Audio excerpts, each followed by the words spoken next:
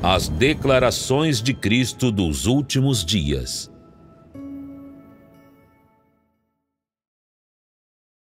Palavras sobre desempenhar um dever.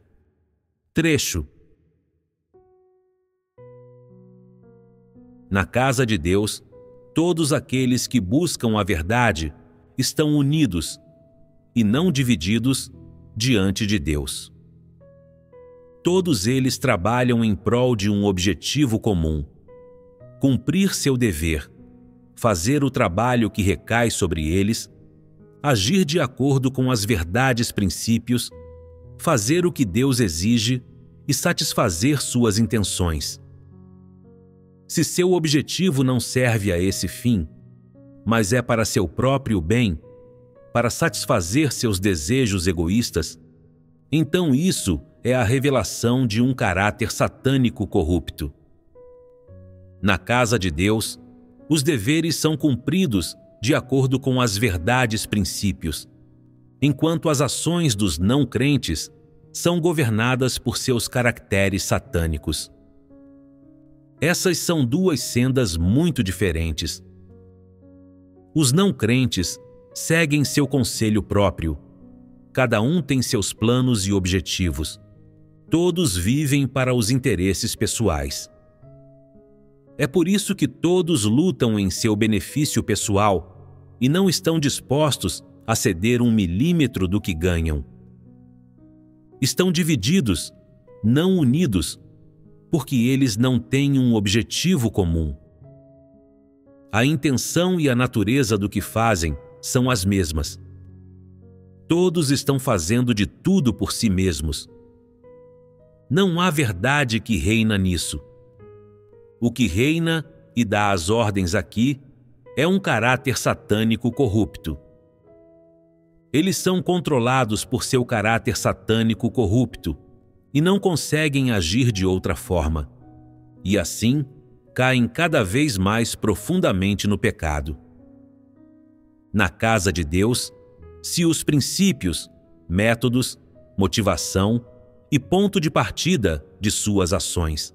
Não fossem diferentes daqueles dos não crentes, se um caráter satânico corrupto brincasse com você, controlasse e manipulasse você, e se o ponto de partida de suas ações fossem seus interesses pessoais, sua reputação, seu orgulho e status, então vocês não desempenhariam seus deveres de forma diferente de como os não crentes fazem as coisas. Se vocês buscam a verdade, vocês deveriam mudar a forma como fazem as coisas. Vocês deveriam abandonar seus interesses e suas intenções e desejos pessoais. Deveriam primeiro comunicar a verdade juntos quando fazem as coisas e entender as intenções e as exigências de Deus antes de dividir o trabalho entre vocês, tendo em vista quem é bom e quem é ruim em quê. Deveriam assumir o que são capazes de fazer e se agarrar a seu dever. Não lutem nem se agarrem às coisas. Você precisa aprender a fazer concessões e a ser tolerante. Se alguém acabou de começar a desempenhar um dever ou acabou de aprender as habilidades para uma área, mas não está à altura de algumas tarefas, você não deve forçá-lo.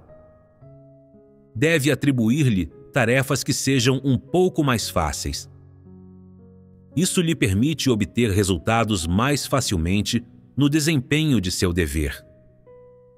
É isso que significa ser tolerante, paciente e ter princípios é uma parte do que a humanidade normal deveria ter. É o que Deus exige das pessoas e o que as pessoas deveriam praticar. Se você é bastante habilidoso em algum campo e trabalha nesse campo há mais tempo do que a maioria, então você deveria receber o trabalho mais difícil. Você deveria aceitar isso de Deus e se submeter. Não seja exigente nem reclame, dizendo: Por que estou sendo criticado? As pessoas dão as tarefas fáceis a outras pessoas e me dão as difíceis. Elas estão tentando dificultar minha vida? Tentando dificultar sua vida? O que você quer dizer com isso? Arranjos de trabalho são feitos sob medida para cada pessoa. Aqueles que são mais capazes fazem mais. Se você aprendeu muito e recebeu muito de Deus, você deveria receber um fardo maior. Não para dificultar sua vida, mas porque ele é perfeito para você. Esse é seu dever. Então não tente escolher, nem dizer não, nem tente sair dele. Por que você acha que é difícil? Fato é que, se você investisse algum coração nele, você estaria totalmente à altura da tarefa. Você pensar que ela é difícil, que isso é um tratamento preconceituoso, que está implicando com você deliberadamente. Isso é uma revelação de um caráter corrupto. Isso é uma recusa de desempenhar seu dever. Não é aceitar de Deus. Isso é não praticar a verdade. Quando você escolhe no desempenho de seu dever, fazendo aquilo que é leve e fácil, só fazendo o que o faz parecer bom, isso é um caráter satânico corrupto. O fato de você não conseguir aceitar seu dever nem se submeter prova que você ainda é rebelde em relação a Deus, que você está se opondo, recusando e evitando Ele. Isso é um caráter corrupto. Quando você descobre que isso é um caráter corrupto, o que você deveria fazer?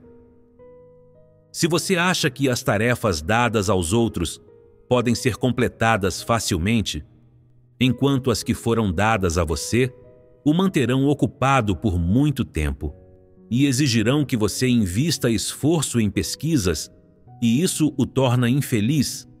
É correto que você se sinta infeliz? Certamente não. Então, o que você deveria fazer quando sente que isso não é certo? Se você resiste e diz: Sempre que distribuem trabalhos, eles me dão os que são difíceis, sujos e exigentes, e dão aos outros os que são leves, simples e proeminentes. Eles acham que sou alguém em que podem ficar mandando e desmandando? Isso não é um jeito justo de distribuir trabalhos. Se esse é seu pensamento, ele está errado independentemente de haver quaisquer desvios na distribuição dos trabalhos, ou de eles serem distribuídos de forma sensata ou não, o que é que Deus escrutiniza? O que ele escrutiniza é o coração de uma pessoa. Ele vê se a pessoa tem submissão no coração, se consegue assumir alguns fardos por Deus e se é alguém que ama a Deus. A julgar pelas exigências de Deus, suas desculpas não são válidas. Seu desempenho do dever não está à altura do padrão e você carece da verdade e realidade. Você não tem nenhuma submissão e você se queixa quando faz algumas tarefas cansativas ou sujas. Qual é o problema aqui? Em primeiro lugar, sua mentalidade está errada. O que isso significa? Significa que sua atitude em relação a seu dever está errada. Se você sempre pensa em seu orgulho e interesses e não considera as intenções de Deus e não tem submissão alguma, então isso não é a atitude correta que você deveria ter em relação a seu dever. Se você se despendesse sinceramente por Deus e tivesse um coração que ama a Deus, como você trataria as tarefas que são sujas, exigentes ou difíceis? Sua mentalidade seria diferente. Você escolheria fazer tudo o que é difícil e procuraria fardos pesados para assumir. você assumiria o que as outras pessoas não estão dispostas a fazer. E você faria isso unicamente por amor a Deus e para satisfazê-lo. Você se encheria de alegria ao fazê-lo, sem nenhuma queixa. As tarefas sujas, exigentes e difíceis revelam as pessoas pelo que estas são. Em que você é diferente das pessoas que só assumem tarefas leves e proeminentes. Você não é muito melhor do que elas. Não é assim que as coisas são? É assim que você precisa ver essas coisas. Então, o que mais revela as pessoas pelo que são é o desempenho do dever. Algumas pessoas dizem coisas ótimas na maior parte do tempo. Afirmam que estão dispostas a amar e se submeter a Deus. Mas, quando se deparam com uma dificuldade no desempenho de seu dever, elas soltam todos os tipos de reclamações e palavras negativas. É óbvio que são hipócritas. Se a pessoa é alguém que ama a verdade, então, quando confrontada com uma dificuldade ao desempenhar o dever, ela orará a Deus e buscará a verdade enquanto trata seu dever com seriedade, mesmo que ele não tenha sido arranjado adequadamente. Ela não reclamará, mesmo se confrontada com tarefas pesadas, sujas ou difíceis, e consegue fazer bem suas tarefas e desempenhar bem seu dever com um coração de submissão a Deus. Ela sente muito prazer em fazer isso, e Deus se sente reconfortado ao ver isso. Esse é o tipo de pessoa que recebe a aprovação de Deus. Se alguém fica irritadiço assim que se depara com tarefas sujas, difíceis ou exigentes, e não permite que ninguém o critique, essa pessoa não é alguém que se despende sinceramente por Deus ela só pode ser revelada e eliminada. Em casos normais em que vocês têm esses estados, vocês são capazes de perceber a seriedade desse problema? Se conseguem perceber uma parte, vocês conseguem reverter isso com sua força, sua fé e sua estatura? Você precisa reverter essa atitude. Primeiro precisa pensar: essa atitude está errada. Isso não é fazer escolhas ao desempenhar o dever? Isso não é submissão.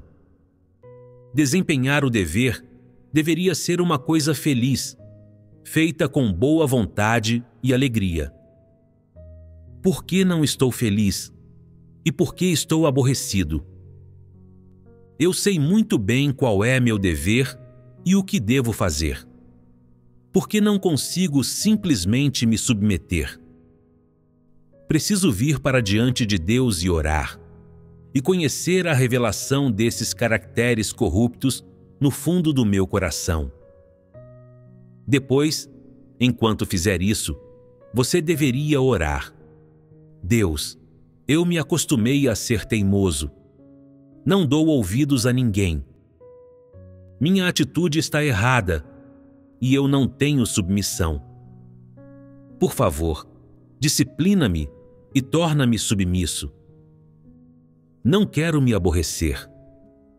Não quero continuar me rebelando contra ti.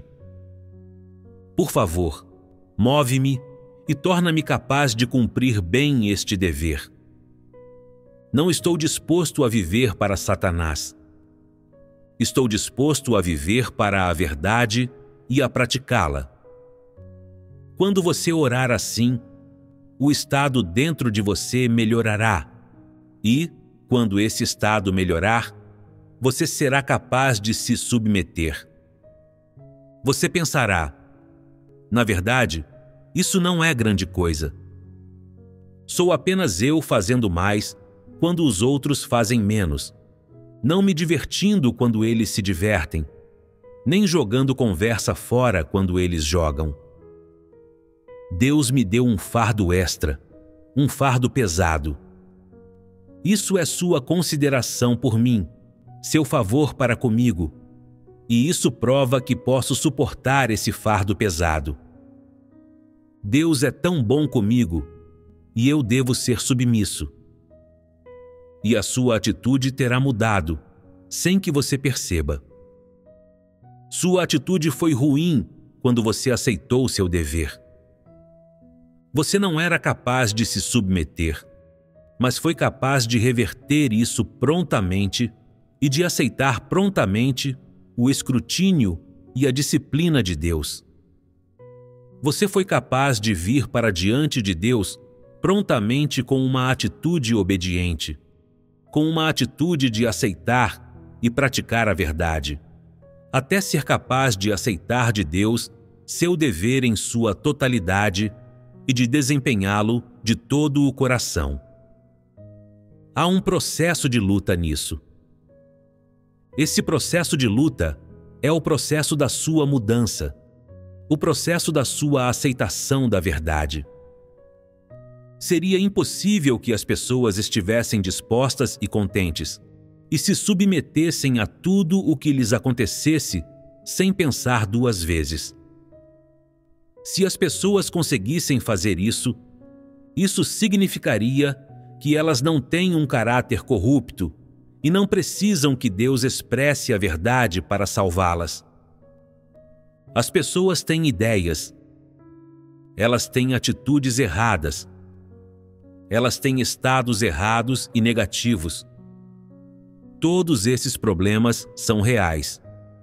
Eles existem mas quando esses estados negativos e adversos, e essas emoções negativas, e esses caracteres corruptos tomam conta e controlam seu comportamento, seus pensamentos e sua atitude.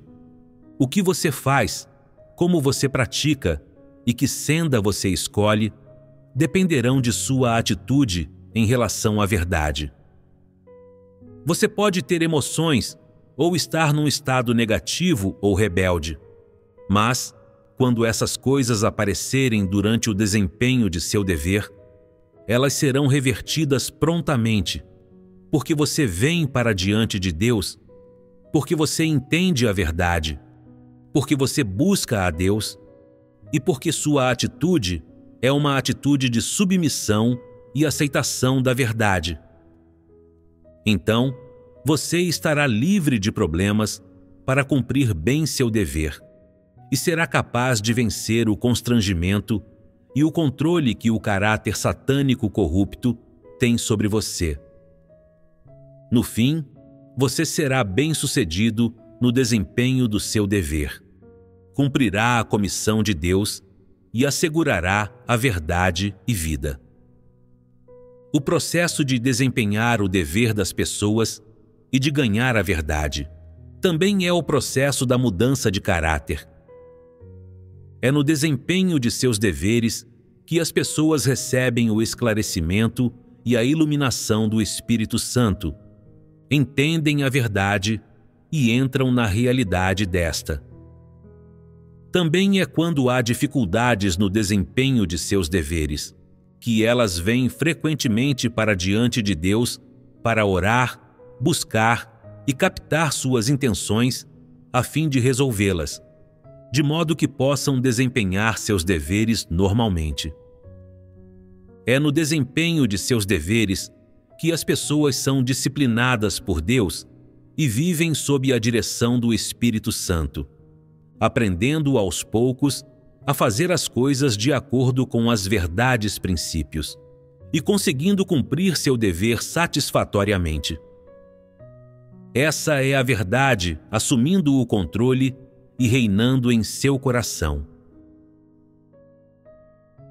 Para algumas pessoas, não importa que problema possam encontrar ao desempenhar seus deveres, elas não buscam a verdade e sempre agem segundo os próprios pensamentos, noções, imaginações e desejos estão constantemente satisfazendo seus próprios desejos egoístas, e seus caracteres corruptos estão sempre em controle sobre suas ações. Podem parecer ter desempenhado seus deveres sempre, mas, visto que nunca aceitaram a verdade e são incapazes de fazer as coisas de acordo com as verdades princípios, no fim, elas não ganham a verdade e a vida, e se tornam labutadores dignos desse nome. Então, em que essas pessoas estão confiando quando desempenham seus deveres? Elas não estão confiando nem na verdade e nem em Deus. O pouco da verdade que elas entendem não assumiu soberania em seu coração. Elas estão confiando em seus próprios dons e talentos, em qualquer que seja o conhecimento que adquiriram, como também em sua força de vontade ou boas intenções para desempenhar esses deveres. E sendo esse o caso, elas serão capazes de desempenhar seus deveres à altura de um padrão aceitável? Quando as pessoas confiam em sua naturalidade, suas noções, imaginações, perícia e em aprender a desempenhar seus deveres, embora possa parecer que estão desempenhando seus deveres e não cometendo o mal, elas não estão praticando a verdade e não fizeram nada que satisfez a Deus. Também existe outro problema que não deve ser ignorado. Durante o processo de desempenhar o seu dever, se suas noções, imaginações e desejos pessoais nunca mudam, e nunca são substituídos pela verdade. E se seus atos e feitos nunca são realizados de acordo com as verdades princípios, então qual será o desfecho final? Você não terá entrada na vida. Você se tornará um labutador, cumprindo assim as palavras do Senhor Jesus. Muitos me dirão naquele dia: Senhor, Senhor, não profetizamos nós em teu nome, e em teu nome não expulsamos demônios, e em teu nome não fizemos muitos milagres? Então lhes direi claramente: Nunca vos conheci. Apartai-vos de mim, vós que praticais a iniquidade. Por que Deus chama essas pessoas que fazem esforço e labutam de malfeitores? Existe um ponto sobre o qual podemos ter certeza, e esse é que, não importa que deveres ou trabalho essas pessoas façam, suas motivações, o ímpeto, intenções e pensamentos surgem inteiramente de seus desejos egoístas, e eles servem inteiramente para proteger seus interesses e perspectivas e para satisfazer seu orgulho, vaidade e status. Tudo gira em torno desses cálculos e considerações. Não há verdade no seu coração, e elas não têm um coração que teme e se submete a Deus. Essa é a raiz do problema. O que é crucial que vocês busquem hoje? Em todas as coisas, vocês devem buscar a verdade e devem cumprir seu dever corretamente de acordo com as intenções de Deus e daquilo que Deus pede. Se fizerem isso, vocês receberão a aprovação de Deus. O que, especificamente, está envolvido em desempenhar seu dever de acordo com o que Deus pede? Em tudo que fazem, vocês devem aprender a orar a Deus. Devem refletir sobre as intenções que têm que pensamentos vocês têm e se essas intenções e esses pensamentos estão alinhados com a verdade. Se não estiverem, eles devem ser deixados de lado. E então, vocês devem agir de acordo com as verdades princípios e aceitar o escrutínio de Deus.